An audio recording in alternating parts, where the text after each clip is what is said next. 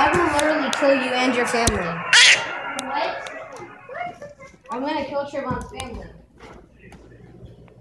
No, Joe, let me.